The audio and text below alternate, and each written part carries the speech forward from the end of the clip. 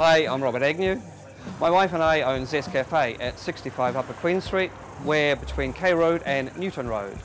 We have a large space, seat 60 people comfortably, and there's a nice indoor-outdoor flow. We're in a great location, CBD Fringe, just minutes from Ponsonby, Mount Eden and Newmarket.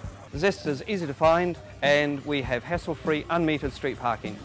We've always had the same philosophy. We source the best local ingredients, we prepare them well, and we sell them at very reasonable prices. Our coffee brand is Organico. It's a new brand, organic, fair trade, and it's also seriously good. We're a great location for business meetings and for corporate lunches. And we're a great Saturday morning brunch destination. I'm a Newton localist.